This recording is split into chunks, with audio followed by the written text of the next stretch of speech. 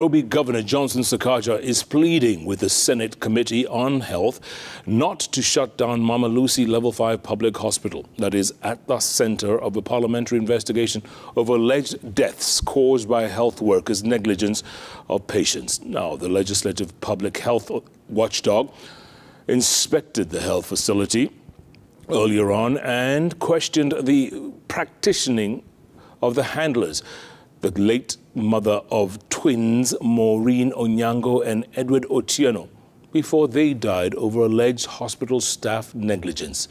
Our very own Seth Olale followed the proceedings from Parliament buildings.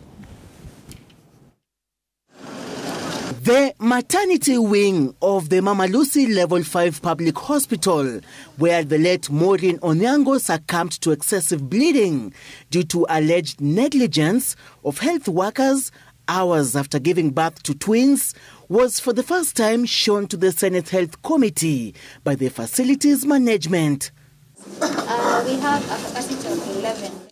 The inspection of the mamalusi Level 5 Public Hospital maternity wards and theatre section coming a month after families of the late Maureen Onyango and Edward Otieno gave harrowing accounts of how their loved ones succumbed due to alleged negligence by health workers on duty. Aku attend, aku, aku attention alipita.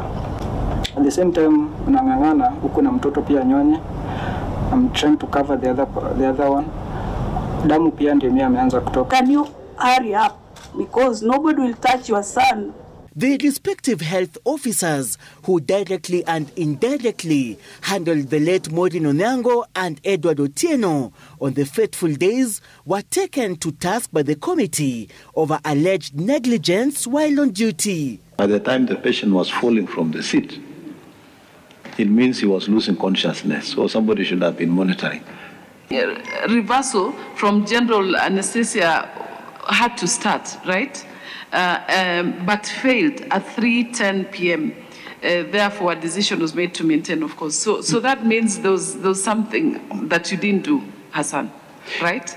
Um, the doctor on call would have been informed to come and attend to the mother at that moment. But, but generally, there was, there was uh, I mean, the entire process was uh, seamless. The ambulance took so long to arrive in Kiambu, and Kiambu is 20 kilometers. Uh, ambulance is just like as any vehicle that uh, the speed limit is uh, 80 per, per hour. Nairobi Governor Johnson Sakaja, while pleading with the parliamentary health watchdog not to shut down the facility, called for the transfer of the hospital from the central government to the county management. Let's give it some time. Nairobi will work. Healthcare will work. Thousands of patients who frequent the Mama Lucy Level 5 Public Hospital hope that the reforms promised by the Nairobi County government will have direct impact on their lives as well as change the face of this facility. Seth Olale, Citizen TV, Mama Lucy Level 5 Public Hospital, Nairobi County.